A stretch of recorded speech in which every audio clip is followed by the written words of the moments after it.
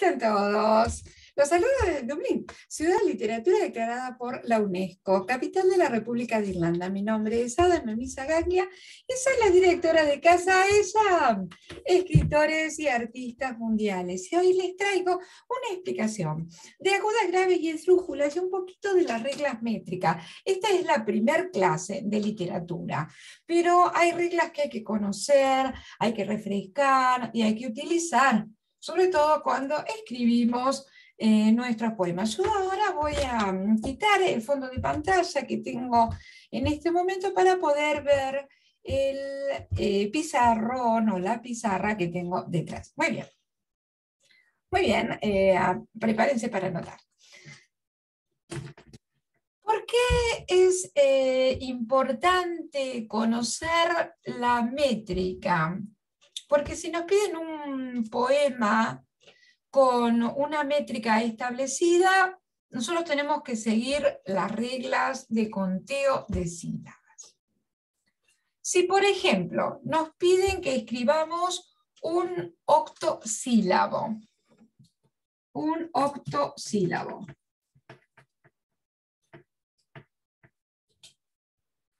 Nos están pidiendo que escribamos un poema que todo tenga ocho sílabas. Ocho sílabas, ¿sí? Ocho sílabas. Entonces nosotros tenemos que adecuarnos y eh, colocar las reglas correspondientes para que realmente nuestro poema tenga esas ocho sílabas. Entonces vamos a, vamos a enfatizar el octosílabo en este momento. Muy bien, nos pidieron un octosílabo. Octosílabo quiere decir que, tiene, que nuestros versos tienen que tener todo ocho sílabas. Una, dos, tres, cuatro, cinco, seis, siete, ocho. Ocho, todo. Uno, dos, tres, cuatro, cinco, seis, siete, ocho. Ocho. Uno, dos, tres, cuatro, cinco, seis, siete y ocho. Ocho. Para que todo tenga ocho sílabas acá, tengo que considerar la regla que dice que si termina en palabra aguda, en una palabra aguda, tengo que contar acá en vez de ocho, tengo que contar siete. Tengo que contar siete y agregarle una. Y ahí va a ser cuando nos dé ocho.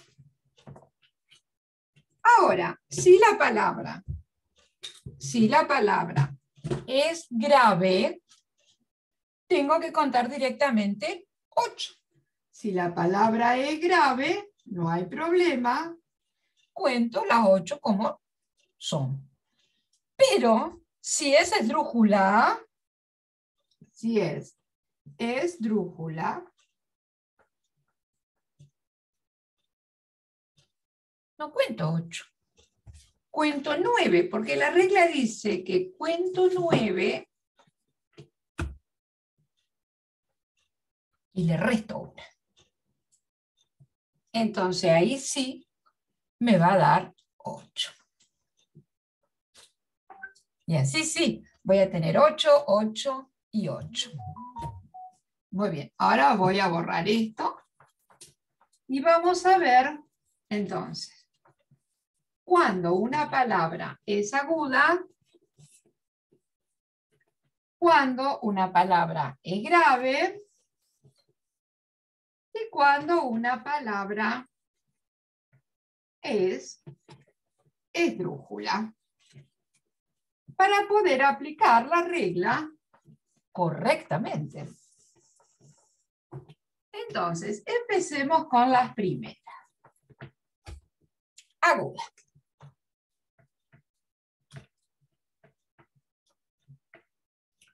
Una palabra aguda es la que se acentúa en la última sílaba. Por ejemplo, la palabra canción.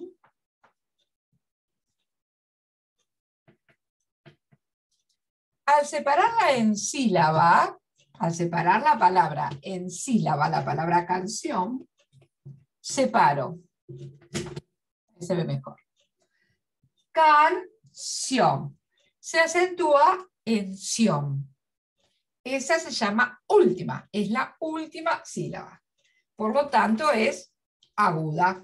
Si nuestro verso termina en canción, entonces nosotros tenemos, cuando lo separamos en sílaba, contamos siete y le agregamos una mentalmente.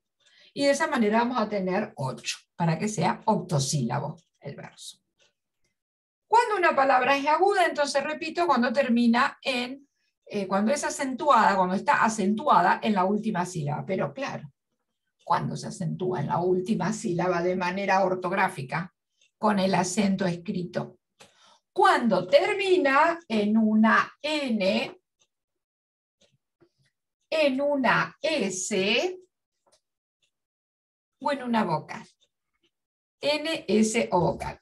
Y los ejemplos son, por ejemplo, canción, gustó, calidez, calidad, entremés, presión, pasión. Todas esas palabras son agudas, acentuadas en la última sílaba. Hay dos tipos de acentos. Yo estoy hablando de acento ortográfico porque es el que se escribe y el que no se escribe pero se pronuncia se llama acento prosódico. Muy bien, vamos ahora a las palabras graves.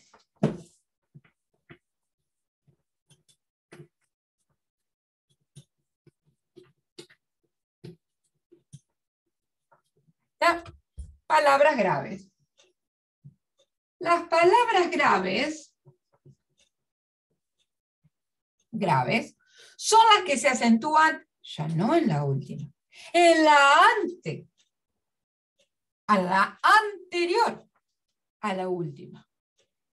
Y esa sílaba se llama penúltima. Entonces, voy a poner la palabra árbol con acento en la A. Árbol.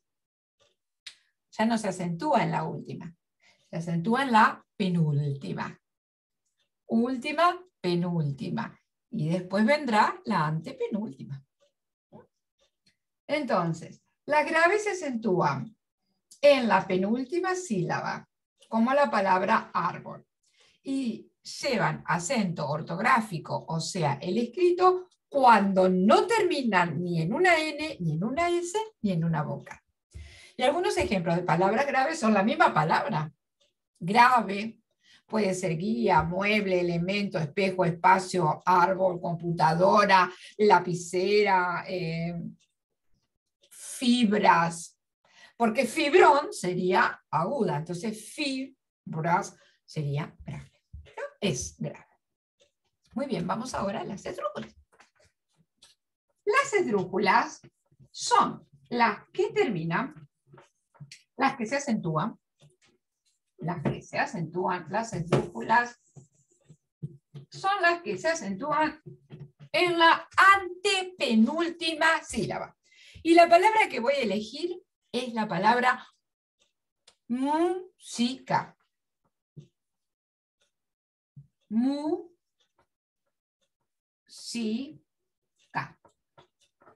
Música.